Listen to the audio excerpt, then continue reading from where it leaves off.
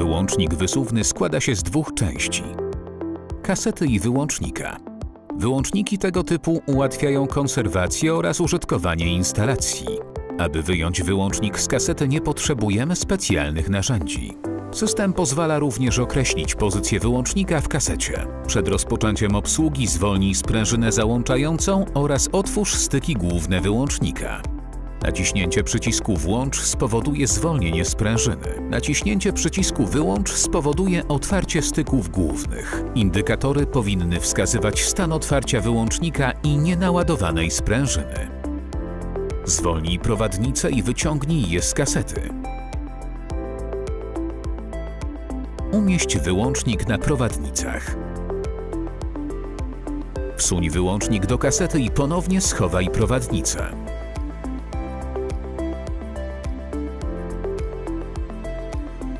Weź korbę i włóż ją w gniazdo mechanizmu zmiany pozycji. Potwierdź położenie rozłączone za pomocą wskaźnika potwierdzenia pozycji, który znajduje się nad mechanizmem. Obracając korbę w prawo, wyłącznik przejdzie do pozycji testu. W pozycji test styki główne wyłącznika są rozłączone, a obwody sterowania podłączone. Umożliwia to sprawdzenie styków pomocniczych napędu silnikowego cewek sterujących wyłącznika, jednocześnie zapewniając rozłączenie obwodów głównych. Aby ustawić wyłącznik w pozycji załączony, potwierdź położenie test, a następnie obracaj korbę zgodnie z ruchem wskazówek zegara. Wyłącznik przeszedł w pozycję załączony. W tym położeniu zarówno obwody główne, jak i pomocnicze wyłącznika są podłączone. Gdy wyłącznik znajduje się w pozycji załączony, możemy nim wyjechać. Weź korbę i włóż ją w gniazdo mechanizmu zmiany pozycji. Potwierdź położenie pracy za pomocą przycisku potwierdzenia położenia, który znajduje się nad mechanizmem wysuwania.